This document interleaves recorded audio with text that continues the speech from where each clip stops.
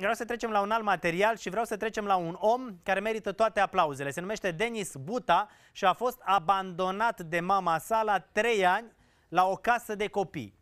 Acum are 28 de ani și este directorul unui orfelinat, adică directorul unei case de copii. Copilul nimănui a devenit ocrotitorul altora care trec prin aceleași experiențe ca el.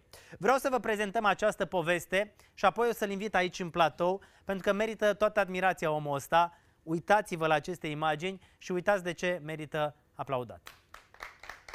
În primii ani de viață, Denis a fost mutat ca o jucărie de colo-colo. La trei ani a fost abandonat de mama sa într-un orfelinat din Lugoj. Atunci am știut că, că, că eu sunt abandonat. Și de atunci nici nu m-a mai interesat. Adică era așa o chestie, ce poate să se întâmple mai, mai mult de atât? Și atunci, atunci s-a și întâmplat uh, uh, clicul ăla de rebeliune. Pur și simplu nu mai ascultam de nimeni, nu mă mai interesa, dar îmi plăcea școala. Deci asta îmi plă... era și încă e refugiul ăla. La șase ani a fost trimis la o altă casă de copii la Periam, la 50 de kilometri de Timișoara. A încercat să-și facă lumea lui acolo, dar viața era grea. La orfelinat aproape 200 de copii ai nimănui trăiau după propriile reguli. Înainte, deci acum 10-15 ani, viața prin orfelinat era foarte grea. Vreau să știu cam cât de dură a fost. Ah, foarte dură. Adică asta s-a imprimat și în personalitățile noastre care am fost pe acolo. Au fost atât de multe experiențe neplăcute și traume și abuzuri de toate felurile, încât mi-au scormonit amintirile și foarte multe, atâția ani, încât eram mai mult conectat în trecut și îmi plângeam la propriu, de milă. Ne puneau aia mare între roți, erau roți în alea mari de tractor, cum ar fi, și ne învârteau de ne zăpăceau, așa, ne duceau și după aia ne dădeau drumul jos și acolo rămâneai câteva minute inconștient. Mai nasoală era așa, terminai de mâncat și dacă erai copil mic, veneai aici și aici stăteau vreo 3 sau 4 mai mari și spunea să-i dai gustarea. Și dacă nu o dădeai, la bătaie. Ca să-și facă viața mai ușoară în orfelinat și să scape de regulile celor mai mari, Denis le făcea temele. A reușit chiar să-și facă și un prieten, pe Dănuț, cu șase ani mai mare, care i-a rămas aproape și azi. Eu învățam foarte bine. Făceam temele la toată casa de copii. Vedeam că sunt alții mai mari ca mine și că mă pot bate, atunci încercam să fiu mai deștept ca ei. Și că și ei mari trebuiau să-și facă temele. Cumva îi cumpăram cu inteligența, ca să zic așa. Visul lui Denis era să urmeze o facultate. Știa că numai așa viața lui se va schimba și a ales cariera tot în urma unei întâmplări petrecute în orfelinat. A fost acuzat că a furat 5 lei de la o colegă și a fost dus la poliție. A fost pus să dea declarații, a fost bătut și nimeni nu i-a luat apărarea. Atunci s-a hotărât să urmeze dreptul, ca să facă el dreptate m-a dus la secția de poliție și acolo a zis la zi, spune și zic, ce să zic, domnule, de declarație? Păi cum să dau dacă n-am făcut nimic? Adică și mi-a dat la o palmă de m-a băgat cu totul în dulap. și așa ciudă mi-a fost pe el. Mă gândeam o să mă fac judecător și când o să vină la mine pe masă uh, cazuri de genul ăsta, eu o să-i fac dreptate. Să, după aia mă gândeam, nu, nu, mă fac procuror ca să cerceteze, să găsesc. Mie mi-a plăcut tot timpul să fac școală. E fain să știi și tot timpul am fost și sunt o persoană curioasă.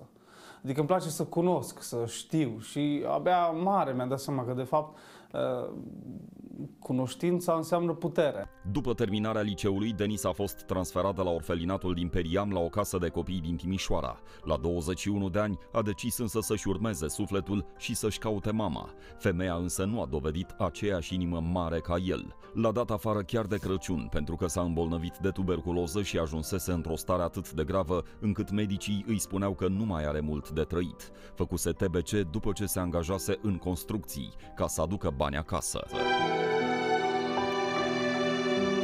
Când s-a văzut singur pe stradă, a sunat o femeie care atunci era doar un străin pentru el. Elena a devenit salvatorul lui. Se ocupa de o fundație care ajuta tinerii să facă școală și chiar dacă nu-l cunoștea pe Denis, l-a sprijinit pe toată perioada facultății. Ne-a spus că este singur, că tocmai se externase din spital, avusese tuberculoză și mama lui l-a dat afară din casă. Și ne-a cerut uh, un loc de găzduire. Știu că era o seară foarte friguroasă și era o iarnă cu zăpadă Și aproape că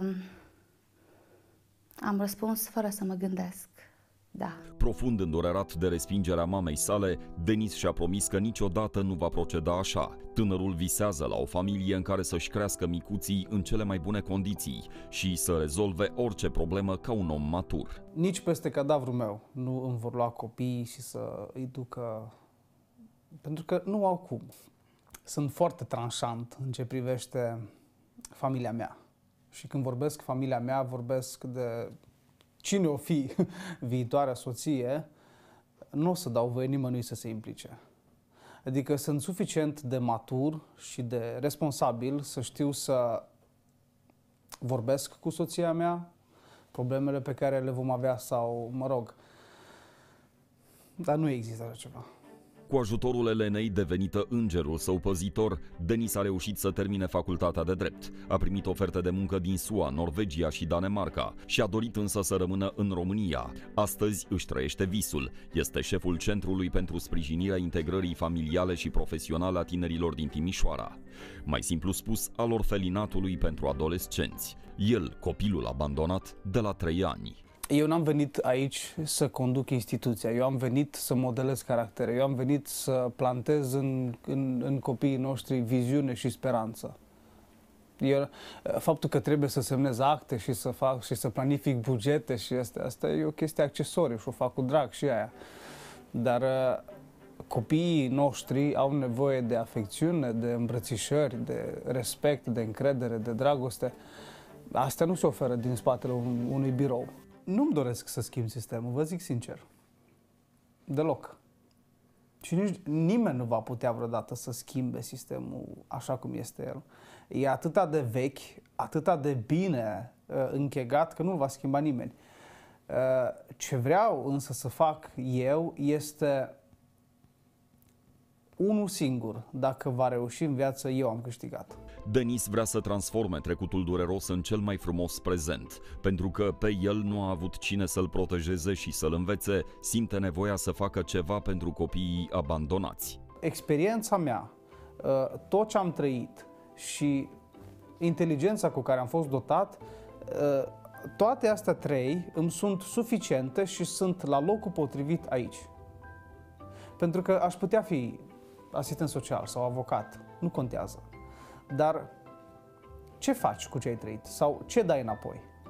Nu? Sau să vin aici la copii și să le zic, eu sunt avocatul Buta. Fiți și voi avocați. Dar dacă sunt aici și le zic, fii ce vrei să fii, dar fii cel mai bun. E un exemplu mai potrivit pentru ei să fie aici și să le demonstrezi că se poate. E posibil, e posibil, e posibil. De când lucrează la centru, Denis s-a apropiat foarte mult de copiii aflați acolo, iar ei s-au atașat foarte mult de el. Îl considerați așa și ca pe un tată sau mai degrabă ca pe un frate? Sau ca pe un frate, ce tată are de bea 28 de ani. Dacă noi nu facem schimbarea, atunci cine o face, domnul Corect, dar schimbarea nu faci prin violență. Cerându-ți scuze, tu nu te umblești, tu te respecti. Ce ai jucat, cruce sau poker? Nu, le nu așa. Aha. Și ar trebui să te cred? Am dat și teza la românească. Și? Notă Cât? Ce ai? Notă, mă! Doamne, Să nu bate. 8 din notă? 8! Și la română, O notă la decentă. română! Deci o notă decentă se numește 9. Haideți, Una ok este 10. Cea mai bună investiție pe care pot să o fac acum e în copiii noștri. Asta și iubesc ce fac. Părinții lui Denis trăiesc și astăzi. El i-a iertat, deși lor le e greu să-l privească în ochi. I-a cerut vreodată iertare? Da? Da. Te așteptai? Nu știu. nu cred. Nu, nu, nu mă așteptam. Nici nu mă interesa, sincer. Dar uh, acum e bine. Tot e bine acum. Sunteți mândru de el? Foarte.